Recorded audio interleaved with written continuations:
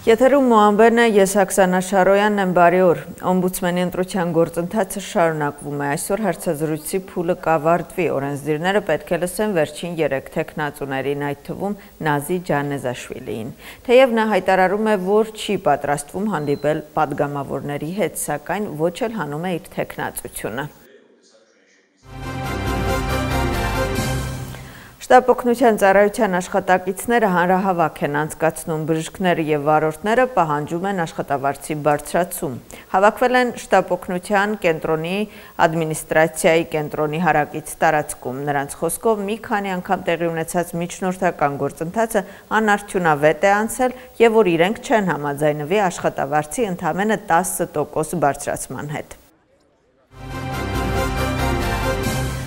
Դոնալդ Թրամփը խոսում է 2024 թվականի նախագահական ընտրությունների մասնակցելու մասին։ Իր համախոհների հետ հանդիպման ժամանակ նա եւս մեկ անգամ ասաց, որ 2020 թվականի ընտրությունները կեղծվել են։ Հիշեցնենք ԱՄՆ-ում կոնգրեսի միջանկյալ ընտրությունները տեղի կունենան նոյեմբերի 8-ին։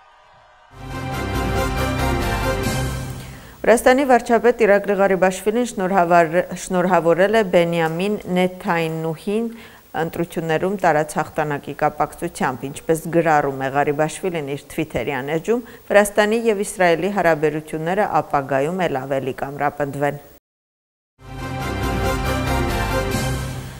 Ադրբեջանի պաշտպանության նախարարությունը Հայաստանին մեղադրում է իրենց դիրքերի ուղությամբ կրակ բացելու մեջ։ Մինչդեռ Երևանում պնդում են, որ Բաքուն ապատեղեկատվություն է տարածում։ Ադրբեջանի պաշտպանության նախարարության փոխանցմամբ նոյեմբերի 4-ի գիշերը Հայաստանի զինված ուժերը կրակ են բացել Քալվաջարի շրջանում տեղակայված ադրբեջանական զինուժի դիրքերի ուղությամբ։ Նրանց տվյալներով կիրառվել են տարբեր տրամաչափի հրաձգային զինատեսակներ։ Բաքվում ասում են, որ ի պատասխան ադրբեջանցի զինվորականները ձեռնարկել են համարժեք, համարժեք պատասխան միջոցներ։ Մշակույթային ժառանգության պահպանության ազգային գործակալության շարունակող վերանորոգումը իսվեդում անօրինական են անվանում ըստ փաստաբանների հարցազրույցի փուլը կրել է ֆորմալ բնույթ, վիրավորական եւ թշնամական բնույթ է ունեցել։ Գործող հանձնաժողովը փաստացի չի գնահատել աշխատակ մասնակիցների մասնագիտական գիտելիքներն ու փորձը։ Իսֆեդի ներկայացուցիչները Թեա Ծուլուկյանին կոչ են անում դադարեցնել աշխատակիցներին ապորինի աշխատանքից ազատելը եւ օրենքի շրջանակներում վարել նախարարության կադրային քաղաքականություն։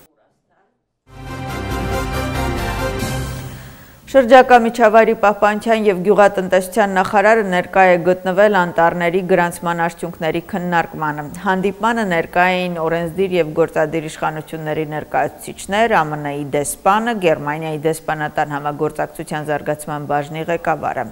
Նշենք, որ անտառների գրանցման ազգային ծրագիրն իրականացվում է Գերմանիայի կառավարության աջակցությամբ եւ միջազգային համագործակցության ընկերության տեխնիկական աջակցությամբ։ Նպատակն է կարճ ժամանակահատվածում ստույգ տեղեկություն ստանալ անտառների քանակական եւ որակական բնութագրերի վերաբերյալ։ Գործընթացը մեկնարկվել է 2015 թվականին։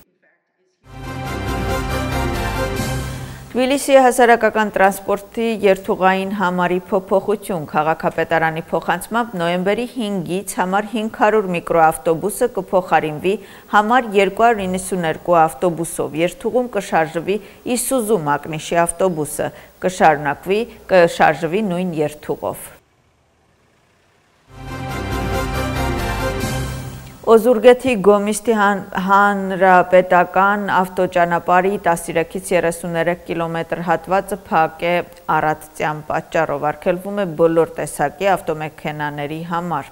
Գործակալության տվյալներով նույն ավտոճանապարի 1-ից 12 կիլոմետր հատվածում երթևեկությունը ազատ է։ Բոլոր տեսակի ավտոբուսների տեղաշարժը արկելվում է նաև Չոխաթաուրի Բախմարո ավտոճանապարհի ներհանրապետական նշանակության 34-ից 53 կիլոմետր հատվածում։